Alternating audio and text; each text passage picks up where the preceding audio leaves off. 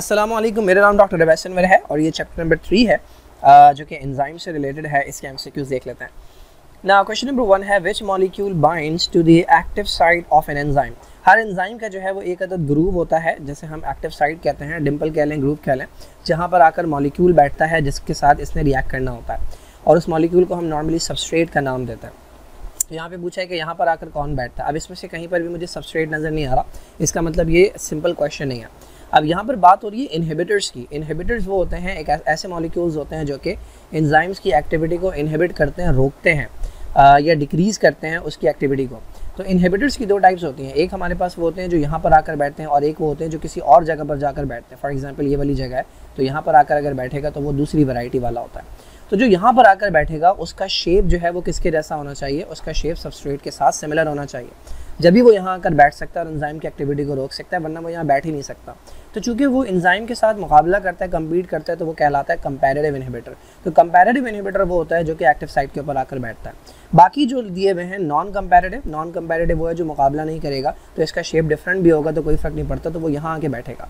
ये वाली साइड कहलाती है एलोस्टेरिक साइड एलोस्टेरिक का मतलब अदर साइड दूसरी साइड ये नॉन कंपेरेटिव इनहिबिटर भी कहलाते हैं एलोस्टेरिक इनहिबिटर भी कहलाते हैं। अगर कोई एलोस्टेरिक एक्टिवेटर है एक्टिवेटर का मतलब एंजाइम की एक्टिविटी को इन्हांस करेगा तो एलोस्टेरिक का मतलब ये है कि ये यहाँ पर आकर नहीं बैठेगा, ये यहीं पर दूसरी साइड पर जाकर बैठेगा। तो कंपेरेटिव इनहिबिटर वो होते हैं जो कि एक्टिव साइड पर बैठते हैं।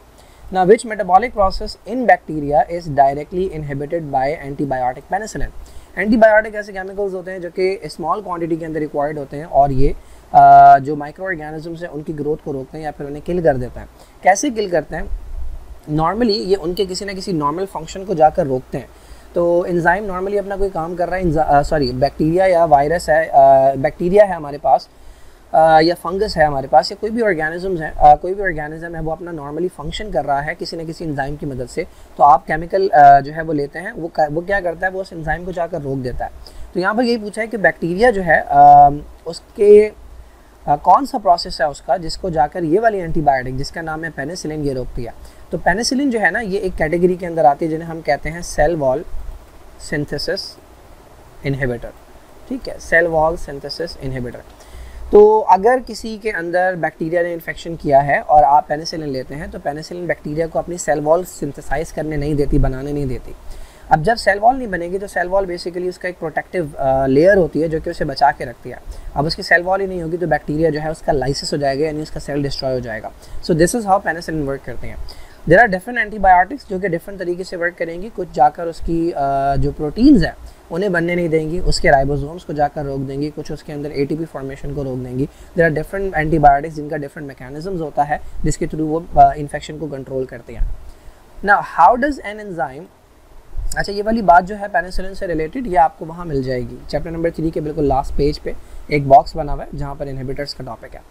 ना how does an enzyme increase the speed of reaction तो हमें पता है कि एंजाइम बेसिकली कैटलिस्ट के तौर पर बिहेव करते हैं बायो कैटलिस्ट इन्हें हम कहते हैं और ये रिएक्शन की स्पीड को बढ़ाते हैं। हाउ Uh, मैंने बहुत डिटेल में एक्सप्लेन किया है। ये क्या करते हैं? लोअर करते हैं एक्टिवेशन एनर्जी की रिक्वायरमेंट को। यानी एक्टिवेशन एनर्जी वो है जो कि रिएक्शन को स्टार्ट होने के लिए चाहिए। तो अगर एंजाइम नहीं है तो टाइम लगता है एक्टिवेशन एनर्जी हासिल करने में और इसीलिए रिएक्शन स्लो होता है। जब एंजाइम आ जाता है तो कम एक्टिवेशन एनर्जी के अंदर ही जो है वो रिएक्शन स्टार्ट हो जाता है। तो कम एक्टिवेशन एनर्जी हासिल करने में फॉर एग्जांपल अगर एक रिएक्शन है जिसको इतनी एक्टिवेशन एनर्जी चाहिए और यहाँ से यहाँ तक एनर्जी हासिल करने में उसे लग रहा है एक घंटा तो जब एंजाइम डालेंगे तो जब इतनी एनर्जी होगी तभी रिएक्शन स्टार्ट हो जाएगा। तो अगर इसमें एक घंटा लग रहा था तो इसमें शायद 20 मिनट लगेंगे। तो रिएक्शन की स्पीड फास्ट होगी। तो दिस इज़ हाउ एंजाइम्स जो है वो आ, किसी रिएक्शन की स्पीड को बढ़ाते हैं by decreasing the amount of activation energy required allosteric side कौन सी होती है? तो ये आ, हमारे पास the same as the active side नहीं एक्टिव साइड जैसी नहीं होती। जहाँ पर एटीपी अटैच होता है बिल्कुल नहीं। Of an involve in feedback inhibition yes allosteric side जो होती है वो इन्वॉल्व होती है फीडबैक इनिबिशन के अंदर। ये सही है। एट दी अपोजिट साइड ज़रूरी नहीं है ऑपोजिट ठीक है? ज़रूरी नहीं है कि अगर एक्टिव साइड यहाँ है तो एलोस्टेरिक साइड यहाँ पर हो। ज़रूरी नहीं है, बिल्कुल यहाँ पर यहाँ पर भी हो सकती है, यहाँ पर भी हो सकती है, यहाँ पर भी हो सकती है तो बिल्कुल ऑपोजिट नहीं होगी, ज़रूरी नहीं है। It's it's an other side other side जो है वो किसी भी तरफ़ हो सकती है। तो बेस्ट आंसर जो है वो यहाँ पर वो यही है कि it is often involve in feedback inhibition feedback inhibition क्या होता है? एक रिएक्शन आपके पास चल रहा है ए जो है वो बी में कन्वर्ट हो रहा है बी जो है वो सी में कन्वर्ट हो रहा है सी जो है वो डी में कन्वर्ट हो रहा है। अब डी जो है ना वो यूज़ हो रहा है। इन केस डी यूज़ होना बंद हो जाए तो डी एक्यूमुलेट होगा ठीक है? अब ये डी क्या करेगा जो एंजाइम नंबर वन है? फॉर एग्ज़ाम्पल ये एंजाइम नंबर वन है तो इसकी एलोस्टेरिक साइड के ऊपर जाकर बैठ जाएगा। जब ये डी यहाँ पर बैठ जाएगा तो इसकी एक्टिव साइड के अंदर चेंज आ जाएगा और फर्दर ये रिएक्शन स्टॉप हो जाएगा। This is called feedback inhibition ठीक है? तो इसके अंदर यूजुअली बाइंडिंग uh, जो होती है वो एलोस्टेरिक साइड के ऊपर होती है। ना a temperature beyond the optimum optimum temperature वो होता है जिसके ऊपर बेस्ट एक्टिविटी हमें देखने को मिलती है। तो अगर टेम्परेचर बियॉन्ड ऑप्टिमम हो जाए ऑप्टिमम टेम्परेचर से आगे पीछे हो जाए तो क्या हमें चेंज जो है वो देखने को मिलेगा? ओके okay, तो ऑप्शन नंबर वन है कि it can affect the shape of an enzyme this is the right answer ठीक है? This is the right option beyond optimum temperature जब टेम्परेचर uh, उससे ज़्यादा हो जाता है जिस पर एंजाइम बेस्ट वर्क करें तो uh, जो एंजाइम का शेप है, वो चेंज होने लगता है बिकॉज़ हायर एनर्जी जब उन्हें मिलती है तो बॉन्ड्स जो हैं वो आगे पीछे होने लगते हैं तो एंजाइम का शेप चेंज हो सकता है। It lowers the energy of activation बिल्कुल नहीं it makes less susceptible to disease somewhat देखिए, अगर आप बात कर रहे हैं बॉडी के ऑप्टिमम टेम्परेचर की, जो कि 37 डिग्री सेल्सियस होता है तो उसके ऊपर अगर टेम्परेचर जाता है तो उसे हम फीवर का नाम देते हैं, ठीक है? फीवर के अंदर लो लो ग्रेड फीवर जो होता है दैट हेल्प्स द बॉडी और ये बैक्टीरिया की ग्रोथ को जो है वो हॉल्ड करता है, रोकता है और बॉडी को रिपेयर करने में हेल्प करता है। तो येस उसके अंदर आपका आंसर हो सकता है बट यहाँ पर स्पेसिफाई नहीं किया कि कौन सी डिज़ीज़ हर डिज़ीज़ के अंदर फीवर जो है वो काम नहीं करेगा। इन्फेक्शस डिज़ीज़ की बात करें तो उसके अंदर जो है वो हाई टेम्परेचर काम करेगा। Similarly what type of infectious disease her infectious disease के अंदर नहीं होगा। Then how beyond optimum temperature की बात हो uh, बात नहीं की गई कितना बियॉन्ड ठीक है? अगर बहुत ज़्यादा हाई टेम्परेचर है तो वो एडवर्सली अफेक्ट करता है बॉडी को। तो ये जो है वो करेक्ट आंसर नहीं हो सकता ठीक है? इसको इन्होंने ऑप्शन दिया हुआ है हालाँकि बहुत ए एंड सी तो ए और सी ए जो है वो बिल्कुल करेक्ट ऑप्शन है। सी जो है वो सम वॉट करेक्ट है बट यहाँ पर चूँकि स्पेसिफाई नहीं किया गया तो we are not selecting it तो ए जो है वो राइट आंसर है। It can affect the shape of the enzyme now nucleic acid which also serve as enzymes there are some nucleic acid जो कि न्यूक्लियोटाइड्स के बने हुए मॉलिक्यूल्स होते हैं and they can serve as enzyme तो उन्हें हम नाम देते हैं राइबोजाइम का। तो ribozyme these are the molecules ribozyme are the molecules जो कि हैं तो nucleic acid but they behave as an enzyme तो प्रीवियस वीडियो के अंदर प्रीवियस चैप्टर के एमसीक्यूज के अंदर हमने बात की थी कि कैसे डीएनए जो है, उससे हमारे पास बनता है आरएनए और फिर इस आरएनए से जो है वो राइबोसोम्स बनाते हैं प्रोटीन तो प्रोटीन के अंदर वो क्या करते हैं? अमाइनो एसिड्स को मिलाते हैं और उन्हें जोड़ते हैं। तो ये जोड़ने वाला जो काम है ये राइबोसोम्स के अंदर जो है वो राइबोसोम राइबोजाइम मौजूद होता है। राइबोसोम्स के अंदर इंजाइम की तरह काम करने वाला न्यूक्लिक एसिड मौजूद होता है जिसे हम राइबोजाइम कहते हैं और यही नमाइनो एसिड्स को जोड़ता है। न्यूक्लियर प्रोटीन भी पिछली वीडियो के अंदर बात हुई थी कि न्यूक्लिक एसिड जब प्रोटीन के साथ मिल जाए तो उसे न्यूक्लियर प्रोटीन कहते हैं दिस इज़ क्रोमोजोम को इंजाइम एक ऐसा ऑर्गेनिक मॉलिक्यूल होता है जो कि लूजली अटैच हुआ हुआ होता है इंजाइम uh, के साथ। ना the activity of almost every enzyme in a cell is regulated by तो इंजाइम्स की एक्टिविटी जो है उन्हें रेगुलेट करने के लिए हमारे पास एक सिस्टम होता है जिसे हम फीडबैक मैकेनिज्म uh, कहते हैं। So this is feedback inhibition इसमें होता यह है कि अगर कोई रिएक्शन चल रहा है हमारे पास और उससे बनने वाला जो प्रोडक्ट है वो अगर इस्तेमाल नहीं हो रहा तो वो क्या करता है उसी सीरीज़ के अंदर जो एंजाइम्स हैं उनमें से किसी न किसी के साथ जाकर बाइंड कर जाता है। यूजुअली फ़र्स्ट एंजाइम के साथ बाइंड करता है और उस आ, पूरे के पूरे रिएक्शन को रोक देता है। तो उससे ये होता है कि फर्दर प्रोडक्ट जो है वो नहीं बनता। This is called feedback inhibition और इस तरह से जो एंजाइम की एक्टिविटी है उसे रेगुलेट किया जाता है उसे कंट्रोल किया जाता है। ना the non protein part of an enzyme अच्छा इसके अंदर बहुत ज़्यादा कन्फ्यूज़न होता है लोगों को। अच्छा अब देखें यहाँ पर हमारे पास आ, जो ऑप्शन दिए हुए हैं उनमें पहला ऑप्शन है प्रोस्टैटिक ग्रुप अगर आप बुक के अंदर देखेंगे तो बुक के अंदर ये एग्जैक्ट लाइन लिखी हुई है कि द नॉन प्रोटीन पार्ट जो है this is called a prosthetic group तो अगर ये स्टूडेंट पढ़ेगा तो फ़ौरन से प्रोस्टैटिक ग्रुप लगा देगा। दूसरा, अगर आप देखें तो ऑप्शन दिया हुआ को एंजाइम ना this is again the non protein part ठीक है? ये भी नॉन प्रोटीन पार्ट होता है ऑर्गेनिक होता है, वो अलग बात है लूजली अटैच होता है, वो अलग बात है बट होता है तो नॉन प्रोटीन पार्ट है ना?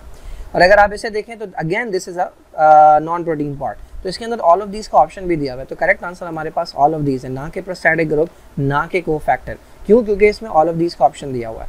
ना लेट सपोज़ कि अगर इसके अंदर ऑल ऑफ़ दीज का ऑप्शन ना दिया जाए तो आ, ये तीन ऑप्शन अगर आपको दिए जाएँ तो नॉन प्रोटीन पार्ट को हम कहते हैं को फैक्टर क्यों? क्योंकि को फैक्टर के अंदर ये दोनों चीज़ें आती हैं। मैंने प्रॉपरली एक्सप्लेन किया है कि एक प्रोटीन पार्ट होता है और एक नॉन प्रोटीन पार्ट होता है।